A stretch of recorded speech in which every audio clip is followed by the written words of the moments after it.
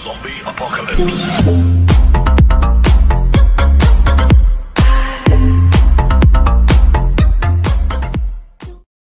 Bonjour à tous, on se retrouve aujourd'hui pour une vidéo annonce, mais pas que, pour la sortie du trailer Plague Tale Requiem prévu en 2022. Oui, vous me direz, on, on est en 2021, mais 2022, c'est pas si loin, on est bientôt en septembre, vous vous le temps passe vite.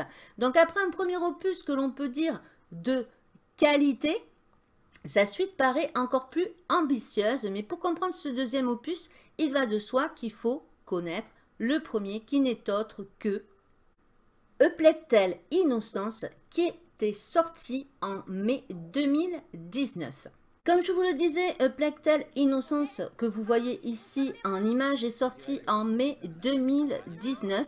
Il est disponible gratuitement ce jour 7 août 2021 jusqu'au 12 août 2021 17h sur Epic, donc n'hésitez pas.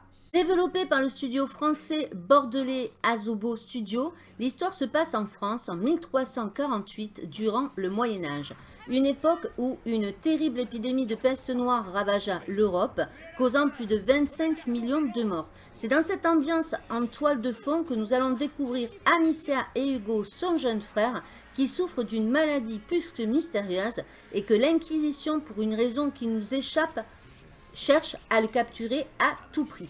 Mêlant action, aventure, furtivité, Plague Tale Innocence ne vous laissera pas de marbre, que ce soit via les personnages aussi émouvants qu'attachants dans cette histoire sombre, captivante et émouvante, mais aussi par le gameplay très punitif, entraînant un game over si vous ne faites pas la bonne action.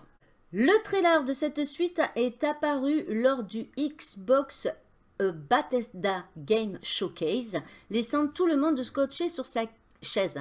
Personnellement, en voyant les images et en ayant fait le premier, je me suis dit ça promet. Toujours édité par le studio Asubo, l'histoire se situe quelques années après le premier opus où nous retrouvons Amicia et son frère Hugo qui ont quelque peu grandi. Le communiqué de presse déclare débarquer dans la suite bouleversante de Tale Innocence, le jeu aux multiples récompenses, surmonter aux côtés d'Amicia et d'Hugo tous les dangers et vivez une nouvelle aventure à couper le souffle dans un monde brutal et cruel où nos deux héros seront traqués par une terrifiante malédiction. Nous y retrouvons beaucoup plus de rats et les développeurs précisent que la vague de rats que vous avez pu voir sera plus impressionnante que dans le 1. De mon côté, je me suis dit, Super, c'est génial, encore plus de rats.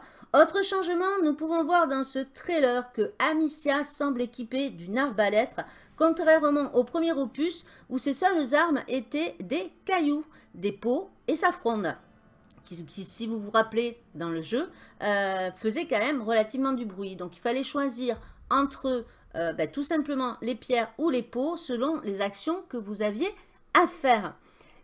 Très peu d'infos, en tout cas, ont filtré euh, des studios Asobo euh, depuis ce trailer, mais euh, avec qui, honnêtement, cela donne vraiment envie. Il s'annonce en tout cas très prometteur. Il est attendu par énormément de joueurs qui avaient adoré le premier. Je vous le redis, il est gratuit sur les pics. Foncez, allez le tester. Tous ceux qui aiment l'ambiance médiévale, etc. Les jeux où il y a de l'infiltration, vous avez de l'action, où il y a une histoire. Enfin, c'est surtout un studio français, ne l'oublions pas.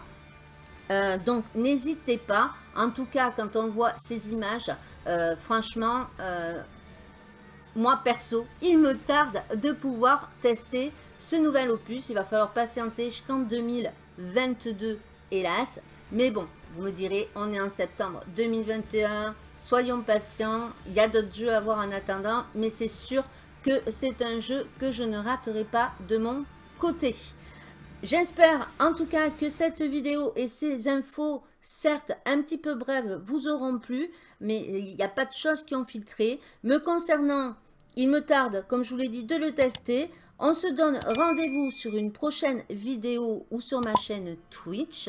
Je vous fais en tout cas de gros bisous et je vous dis à très vite pour un prochain gameplay ou une prochaine vidéo. Bye bye